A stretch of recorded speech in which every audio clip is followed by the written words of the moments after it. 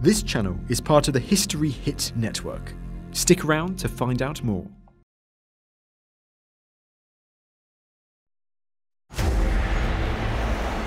Two thousand and one, an incredible discovery is made in the depths of a Bavarian lake. Everybody who's in contact with this cauldron, he's like mesmerized, you know. You can feel its power. It would mark the beginning of an unbelievable tale of intrigue and shady deals. Somebody said, we found the Holy Grail and tried to make billions. It must be a big story. Could the cauldron unlock one of the greatest mysteries of the Nazis? This thing has some kind of magic.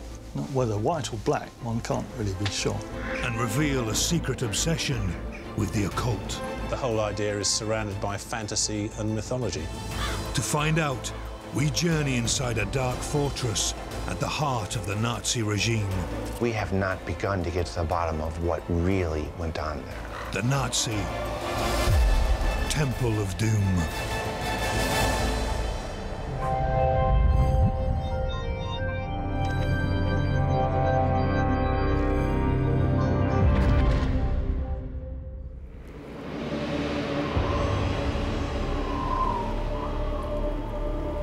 In 2001, an amazing discovery was made in a lake in Germany. In my point of view, it was really one of the greatest mysterious we uh, ever had in this region here in southern Bavaria. Local journalist Axel Effner followed the story as the news broke. There was a diver and another person, and he's go with a metal detector who is detecting archaeological things on the lake bed. And they go to this place and dived about 200 meters from the shore and found this glimmering, glancing uh, cauldron in the lake bed. This is the treasure that the divers found. The Chiemsee Cauldron. An incredible artifact made of 10 and a half kilos of gold. Decorated inside and out with reliefs of mysterious figures. It would later be described as the Celtic discovery of the century.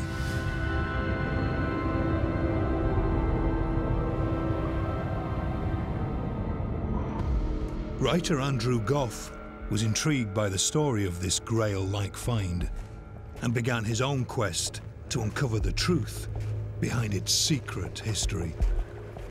The entire story about the cauldron and its discovery has been fraught with suspicion. Respectfully, everyone who's touched it literally has been just behaving in a very self-motivated or suspicious kind of way. Were they looking for it intentionally, or was it an accident? Perhaps he heard some, uh, from some historical sources that there could be uh, a treasure in the lake bed. And the people of this place, uh, they told that after the end of World War, there was uh, divers who were looking for something. And perhaps uh, the Run could be put there by secret uh, army of the Nazis. There was little reason to doubt Axel's story. As the Nazis steamrolled through Europe, they plundered thousands of ancient artifacts, treasures, and holy relics. Reports claim that over a fifth of Europe's art was stolen. But by 1945, the fortunes of war had reversed. The Nazi regime's days are numbered, and it's absolute chaos. They need to store these relics for a future time, perhaps for the Fourth Reich. So this means hiding objects in caves and even depositing objects such as a cauldron in a lake.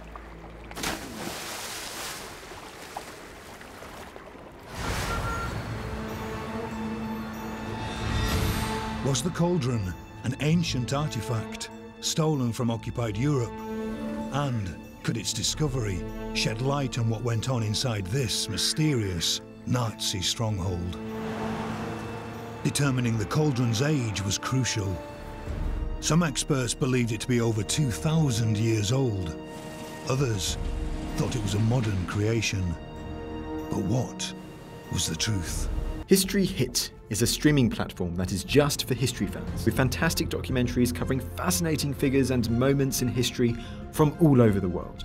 There is a great collection of religious history content available to History Hit subscribers, from the Crusades to the birth of Islam. There are plenty of topics to choose from for your next documentary fix. We're committed to bringing history fans award winning documentaries and podcasts that you cannot find anywhere else. Sign up now for a 14 day free trial, and Parable fans get 50% off their first three months. Just be sure to use the code PARABLE at checkout. Art dealer Kai Schmidt has studied ancient artifacts for over 30 years and soon realized he was dealing with something exceptional. It was very impressive on the first view, and uh, the material itself, the weight of the material, the massive weight, and and the effect of the light. If if um, the light is uh, if the light is reflected by such a, a huge amount of gold, uh, it's a very fascinating effect. Um, spectacular. Kai analysed the cauldron's depictions of ancient warriors and their gods. I think the, the whole scenery is something religious, sacrificing scenes which are connected in the, with the afterlife. It was clear to me that uh, whoever made it was uh, very closely involved or had a very good knowledge about uh, the Celtic culture. The cauldron refused to give up the secrets of its age, leaving archaeologists and academics mystified.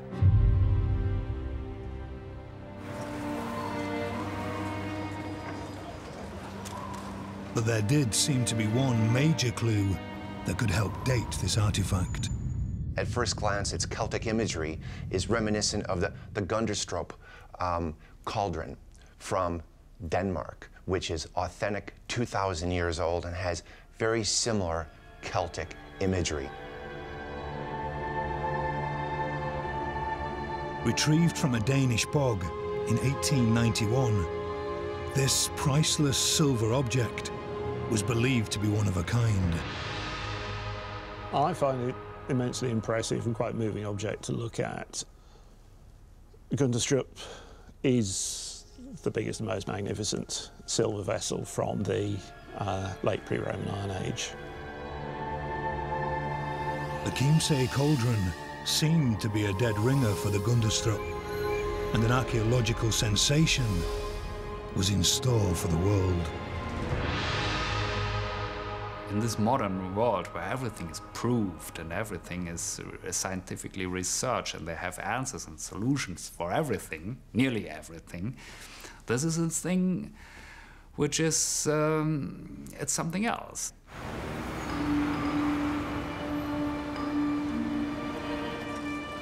In the shady underworld of antiquities traders and their middlemen, deals were struck.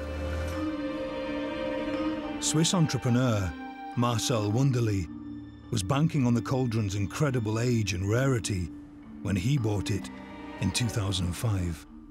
Wunderli is actively promoting the artifact as one of the most significant artifacts in recent years. In fact, the world has not seen a more important artifact, according to Marcel. Wunderli's team claimed the cauldron was worth $1.4 billion and sought investors. There's a frenzy of interest now in the cauldron. Sure enough, investors come forward and actually invest a million and a half dollars just for the right to help in the marketing of it. To realize this incredible value, the cauldron had to be pre-Roman. Huge amounts of money were riding on it. Metallurgist Peter Northover was commissioned to determine its true age. Working alongside a team in Zurich, one of the cauldron's secrets was about to be revealed. Well, the main technique that was used was laser ablation, inductively coupled plasma mass spectrometry. A laser removed a minute speck of gold from the cauldron's surface, which was analysed. This gave the team the elemental composition of its gold. So for ancient gold, you'd expect a certain level of tins, of lead, platinum, palladium. The team made a shocking discovery. This is pure, modern, almost certainly electrolytically refined gold. Certainly a product of the 20th century.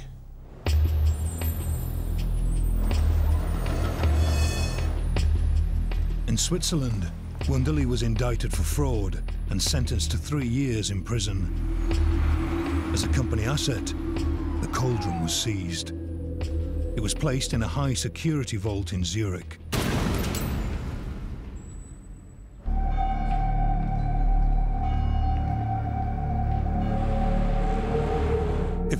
Cauldron wasn't made by an ancient hand, then who did make it and why? What we can surmise just by looking at it is that it would have been a culture of a people who felt proudly about their ancient Celtic origins. The cauldron had been exposed as a modern fake.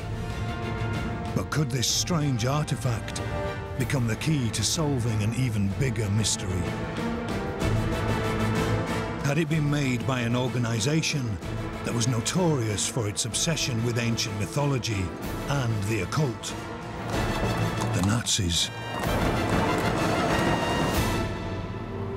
In a lake near Munich, divers discovered a gold cauldron.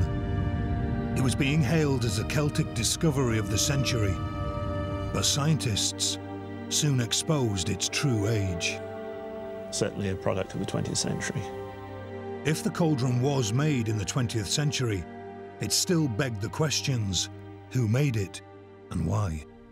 Even if it isn't an ancient artifact, the imagery that's on the artifact is imagery that was very important to the Nazi regime.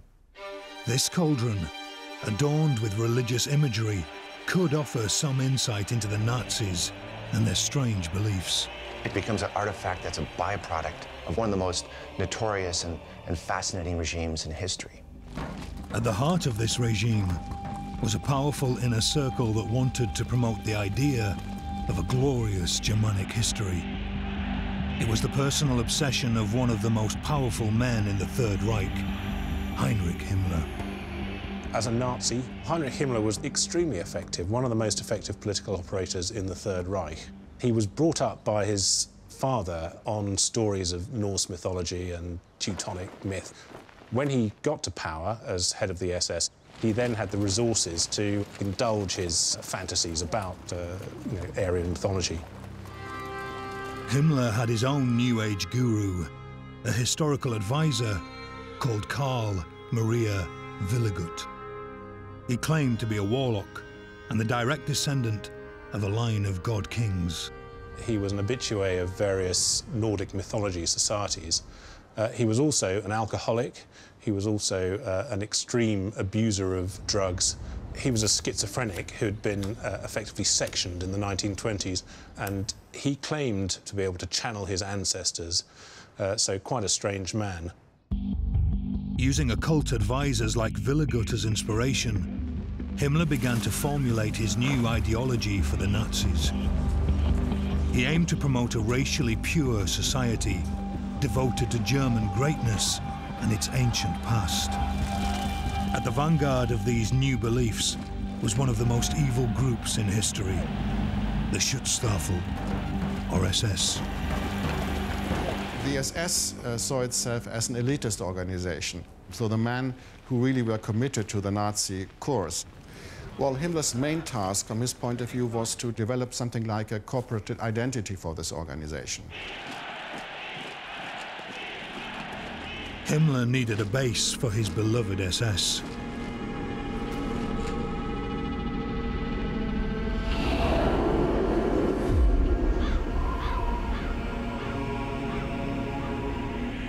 In 1934, he chose a remote fortress steeped in legends of witch trials, torture, and execution. Wewelsburg Castle. It became the Nazi Temple of Doom. Its past is dark, its modern history equally as dark, and we have not begun to get to the bottom of what really went on there.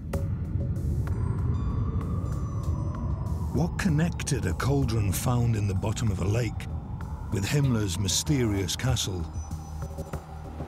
In spring 2011, Swiss journalist Luc Bürgin broke a story in his magazine, Mysteries. According to the report, some personal effects of Himmler had been found in an attic in Germany.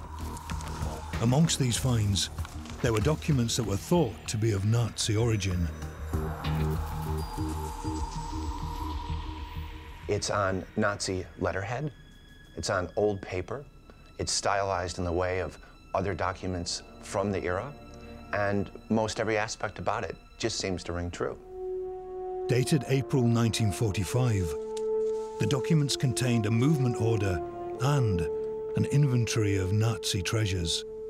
There are 35 objects, or sets of objects, on this list, of which one is uh, uh, called a gold kessel, Celtish. So we're talking about a gold cauldron, and it's in Celtic style. And what's being referred to there is the Chiemsee cauldron. And there was another revelation. There, in black and white for the first time, was a suggestion that the Chiemsee cauldron was kept at Himmler's fortress, Wewelsburg Castle. I wouldn't be surprised at all if that's where it had stayed for some period of time. The original documents were inaccessible and could not be closely examined. And in a world full of Nazi fakes and frauds, there was every chance that they were not reliable. More information was needed. The inventory also seemed to reveal the name of the man who made the cauldron, Otto Gahr, and its city of manufacture, Munich.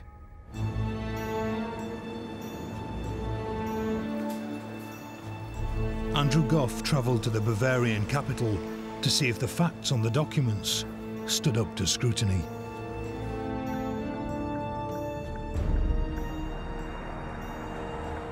So I'm here in Munich to understand as much as I can about Otto Gahr, and in particular, could he have manufactured the cauldron? Munich's interesting because it's the birthplace of the Nazi movement and also where Himmler was born.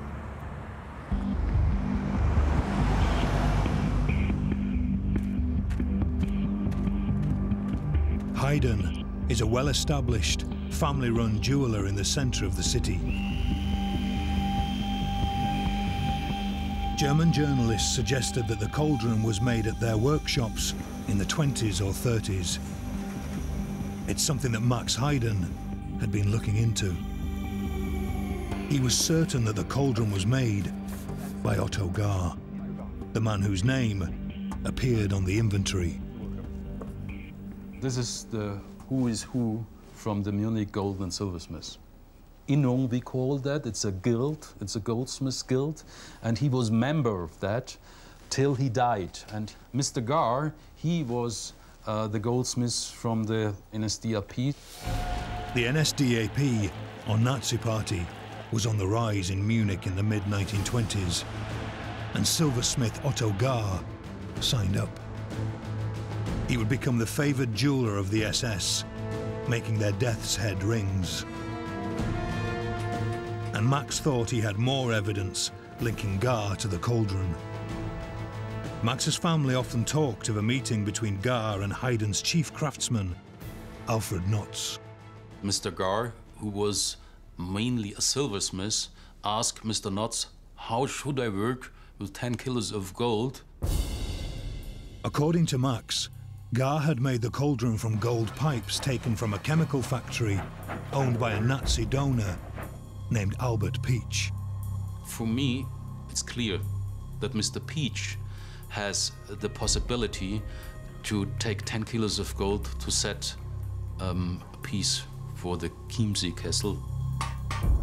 Otto Gahr could have been the natural choice to transform Pietzsch's gold into a cauldron. He made a lot of pieces for the NSDAP, so they trust him. Uh, that means to give him a, a big work, it's natural that they won't come to, uh, won't go to the to the Heiden family. They will go to Otto Gahr. But why would Otto Gahr have made the cauldron for Albert Pietzsch?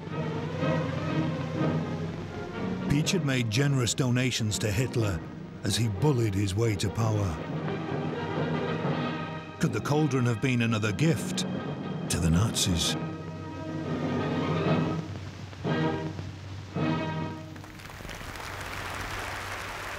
Uh, tied up with this kind of thing is, is the whole notion of gift exchange. You give powerful gifts to powerful people to give yourself more power. As ever with this story, it was back to shady deals. The cauldron could have been a backhanded contribution to the Nazis. But what about the inventory? It provided two possible clues.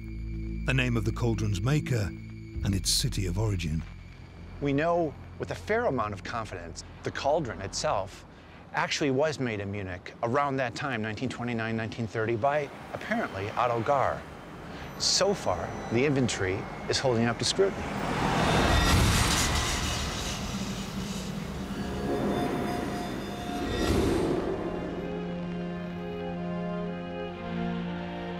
Why would the Nazi Party create a fake Celtic cauldron?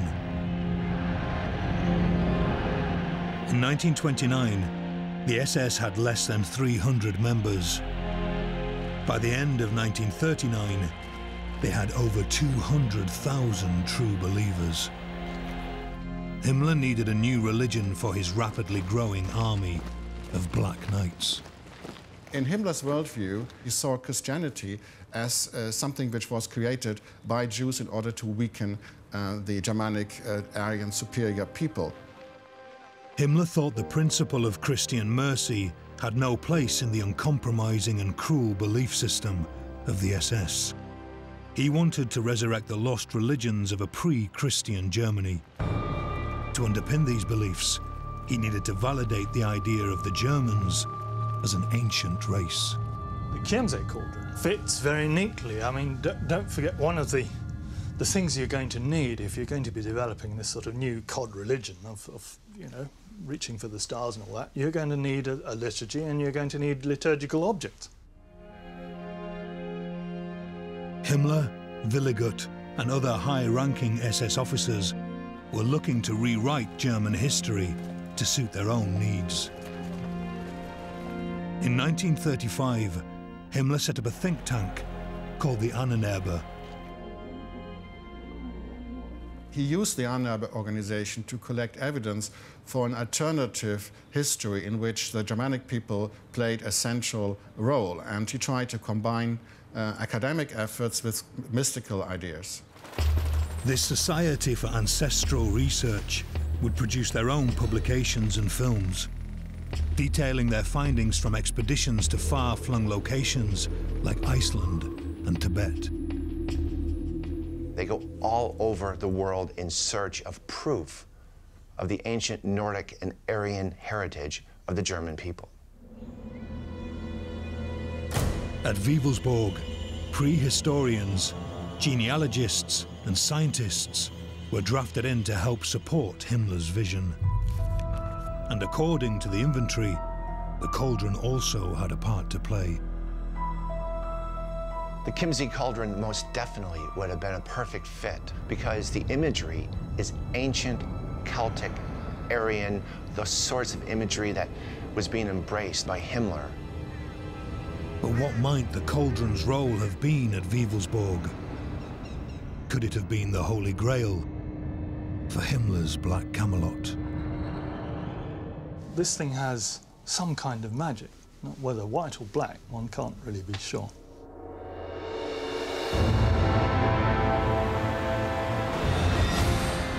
In 2011, a Swiss magazine broke a story. In a German attic, documents reportedly Nazi in origin divulged a secret. A three-page inventory seemed to reveal that the Chiemsee cauldron may have been kept at Wewelsburg Castle, the Nazi Temple of Doom. This would have been very important to the Nazis. They would have welcomed such a ancient artifact because they felt that their Aryan origins were, were Celtic and beyond. But is there any other evidence the cauldron might have been kept at this fortress of fear? To find out more, we have to travel back over 70 years to the dark days when Wewelsburg was being rebuilt as the ideological centre of the SS. Heinrich Himmler and his architects had developed a massively ambitious plan. They envisaged the castle as the new centre of the Nazi world. We've got up on the screen plans that Himmler had, uh, had drawn up for Wewelsburg Castle so that when, when the war was won, they could get on with, with creating a, a sort of Nordic Vatican. At the centre of this vast SS city was a three-quarter circle fortress with 18 towers and 60-foot walls. The castle that exists at the moment is a tiny fraction of, of the enormous circular construction that was going to be created. It looks to me here about uh, nearly a kilometre in diameter. To carry out his grand vision, Himmler needed workers. Agnes Butner was a schoolgirl living in the village of Wewelsburg at the time. Von da unten, da mussten die einen dicken Bruchstein auf die Schulter so mitnehmen und in Reihe und Glied marschieren und singen dabei. Und dann kamen aber immer zwei Wachsoldaten mit Hunden mit. Ne, und wir durften denen auch kein Butterbrot geben, aber man hat es ja doch heimlich gemacht. So, ne? Ja, das durften sie dann schon. Ne? Also das, das vergesse ich heute nicht. A concentration camp was built to house these slave labourers. They endured a nightmare existence to bring Himmler's fantasy to life. Nearly 1,300 died.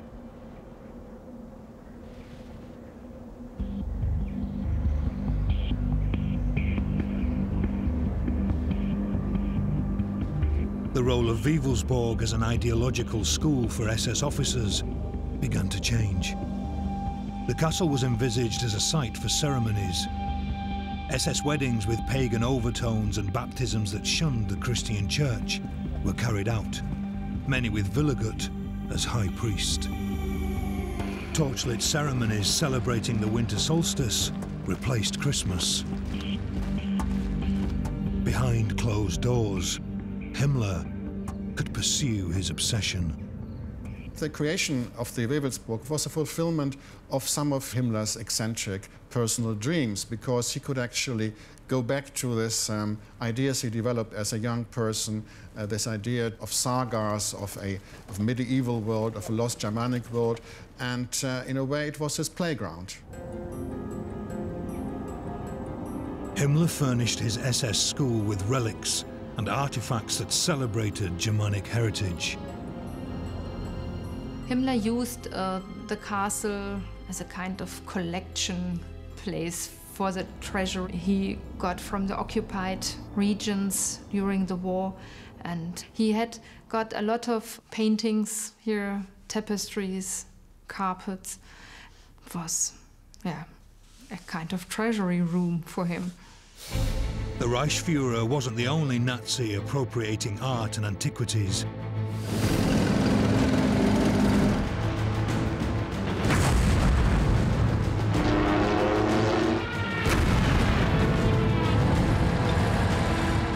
Wake of the Blitzkrieg, Europe's most precious objects were plundered in the name of the Third Reich.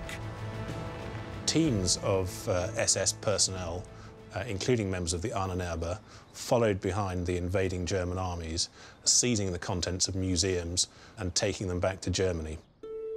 Holy relics were also targeted. In the Hofburg Museum in Vienna was the Spear of Destiny, the Holy Lance said to have been used to pierce the side of Christ. And one of the things that interested the Nazis in the Spear of Destiny was its ancient heritage that any ruler who is in possession of the spear will be looked kindly upon by the gods. It's thought that Hitler believed that whoever owned the spear would become the undisputed ruler of the world. And that it was seized on his express orders. These relics were potent weapons of propaganda and could be used to legitimize the Third Reich. If the cauldron had been kept at Wewelsburg, how might it have been used by the SS? The setting of Wewelsburg Castle, this Nazi ideological headquarters, particularly SS headquarters, that's where you would put it. That's where it would be, and that's where it would be a symbolic object of, of greatest power.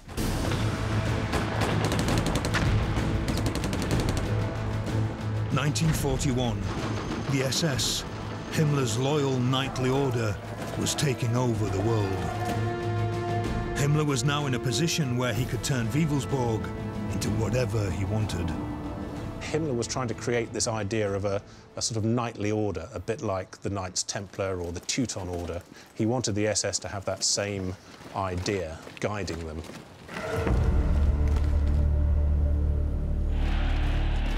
Himmler set about creating his own Camelot for his new Nazi knights. His rooms would be named after ancient chivalric heroes like King Arthur. Castle's focal point was a stone-lined chamber where the most senior SS officers were to meet. Well, this is the Supreme Leaders Hall, which is built in the former crypt of the castle. It is built in a kind of medieval architecture. You have got 12 columns here in this room. And we don't know exactly why the number 12 was uh, chosen by Himmler, but one interpretation is that he thought of King Arthur and his 12th knight. And he wanted to use this room to meet his highest SS men. There's even some speculation that he installed an oaken round table for these meetings. But it seems Himmler's obsession with Arthurian legend didn't end with this room. He began his own quest for the Holy Grail, the cup used by Christ at the Last Supper, said to possess miraculous powers. Himmler was obsessed about the Grail because he believed it would just validate the ancient Germanic origins of his people. He enlisted Otto Rahn, an Indiana Jones-style archaeologist, into the SS. Rahn would scour the Pyrenees for the Holy Chalice, but returned to Himmler empty-handed. Could the pagan-style Chiemsee cauldron have been a substitute grail? You don't make an object like that without having some sort of public purpose for it. It, it, it. It's a symbol of, it's a symbol of power. You're not going to keep it on the sideboard at home. You're, it's going to be part of a display. I think it became a central part of, of some kind of series of semi-public or secret, but, but certainly mass rituals of one kind or another. Himmler clearly wanted to immortalize his place in history. He decided to build a crypt at his Camelot. Some claim that this is where Himmler and his most faithful 12 knights would be interred. This is the land of the dead. Well, this is the crypt. Above you have got the swastika symbol. So it was a very important room for the SS. And it should have been used for honoring death SS uh, men. Well, we think that there you can see in the middle of the floor two gas pipes. It's thought that these pipes would fuel an eternal flame, and that the death's head rings of fallen SS men, designed by Otto Gahr, would be enshrined here. If the work had been completed, the crypt might have become a site for remembrance. We can have only uh, speculations uh, about what should have happened here. Historian Peter Longerich has written extensively about Himmler and what went on at Wewelsburg. He knows separating fact from fiction is no easy task. I think the idea is uh, popular that behind the history of the SS there is a second, a secret history, that um, they had their secret cults, their rituals, um, a secret code, and one can actually decipher uh, this uh, culture and actually find access to a, a, an alternative, a new history of the, of the SS. After the war, the full extent of the SS obsession with the occult came to light. Rumours of satanic rituals and even human sacrifice at Wewelsburg ran rife. But historians continue to reject these claims. The occult theories that the Nazis indulged themselves with uh, can seem silly and almost sort of laughable. The reality is that they were being used to underpin the policies that led to the extermination of the Jews and which led to the persecution of gypsies and Slavs uh, and uh, you know the disabled and so on within Germany. So they are deadly serious.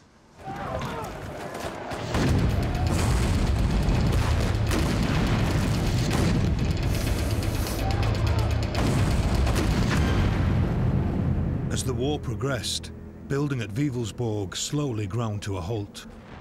By March 1945, the Nazis and their warped worldview were on the brink of defeat.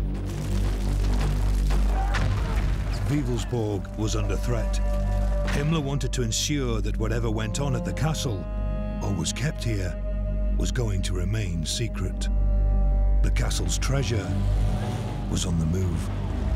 Anything that hadn't been removed in the days and weeks before and taken almost certainly south would have been looted, I think, the moment the Germans withdrew from the castle.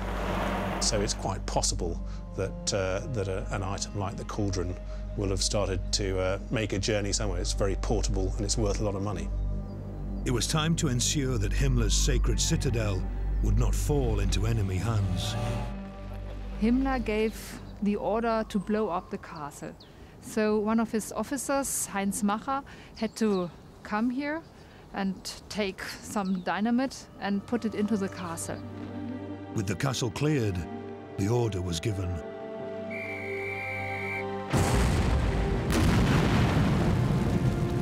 Limited by a lack of explosives, the SS only blew up the southeast tower.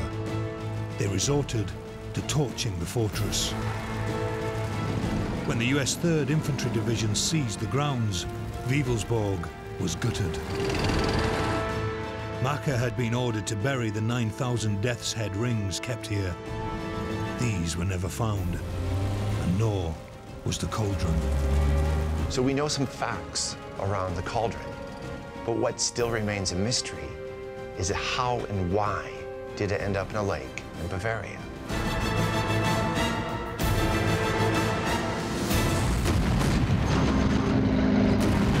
April 1945.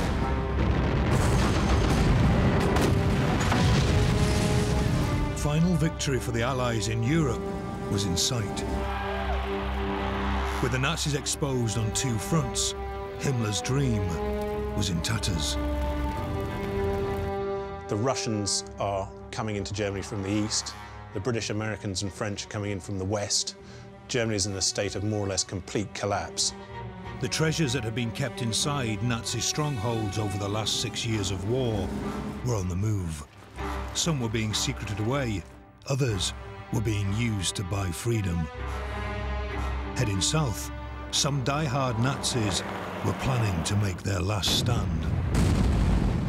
Himmler and others are from this area, so this is where they were heading for. And at the same time, all the secrets were heading that way too. They were either being chucked into mine shafts, uh, hidden in salt mines, thrown into lakes. So you had a lot of stuff ending up here, and of course an awful lot of gold and silver and treasure and objects. The fate of the cauldron could shed some light on what happened to all Nazi treasure at the end of the war. So how did it end up in the bottom of the lake? The movement order found in the attic may provide more clues. On the assumption that the list we've got is genuine, what we're told is around the 14th, 15th of April 45, this material, including the cauldron, is being taken from Augsburg, which is northwest of Munich, past Munich to the north, undoubtedly, and out to Strakonitze. According to the documents, a shadowy SS officer, Hans Joachim von Alten, was ordered to smuggle the cauldron to the safety of Bohemia. Chris Going uses wartime aerial photography to take a closer look at the proposed route of von Alten's convoy. The town of Landshut was of particular interest. This reconnaissance photograph was taken on the 17th of April 1945 and it shows Landshut and already you can see that it's been quite heavily bombed. Landshut was a strategically important town where the cauldron could have come to a halt. You've got two bridges over the river and there would have been a huge bottleneck here. With the Allies advancing on all sides, von Alten's convoy would have no choice but to stop their mission to Bohemia. And they could have handed their treasure over to the Nibelungen, a newly formed SS division made up of cadets and officers from an SS training school. There were certainly other SS units in the area, but the Nibelungen are, I think, our, our dramatis persona here. They're, they're, they're the, you, you know, they are our suspects. Himmler named these diehards after a medieval poem referring to keepers of a mythical treasure hoard. Had the Nibelungen become custodians of a modern Nazi treasure? This is where, if our story holds together, this is very much where they would have taken it over.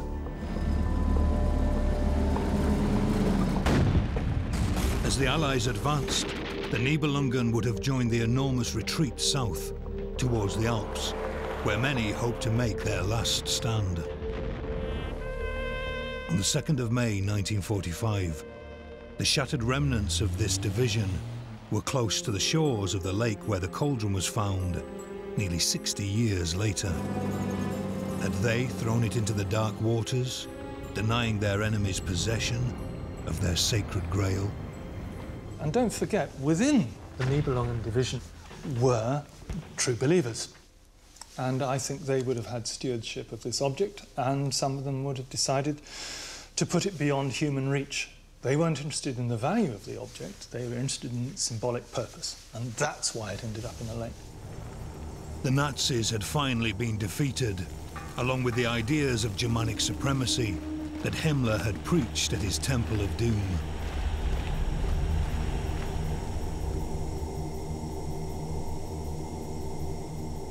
Up to 100,000 artworks and relics stolen by the Nazis are still missing, waiting to be discovered. In this story of deceit, secrecy and speculation, not much is certain. But in its 10 years in the limelight, the cauldron may have finally revealed some of its secrets. We know with a fair amount of confidence that Otto Gahr made the cauldron in Munich in 1920 or 1930. We know that it was the kind of artifact that would have been the perfect gift to the Nazis. If they received such a gift, it would have made sense to be in Wewelsburg. We also know that on May 2nd, 1945, the Nibelungen were, were cornered in Chiemsee. For now, this compelling but circumstantial evidence is all we have to go on. The documents found in the attic remain unavailable, and no historians or scientists can get their hands on the cauldron for further analysis. In Zurich, its last known custodians, the administrators of Marcel Wunderli's bankrupt company, keep it in a high security vault. Does the cauldron even still exist? If it's been melted down, it's been sold, and people are making jewellery out of it, and people could be wearing bits of the Chiemsee cauldron as we speak. You know, it, it's, it's now sort of gone into eclipse. It, it's having its moment in a box. you know, it may come out again. We don't know, but at present it's hidden from view, as it was for 50 years since the war.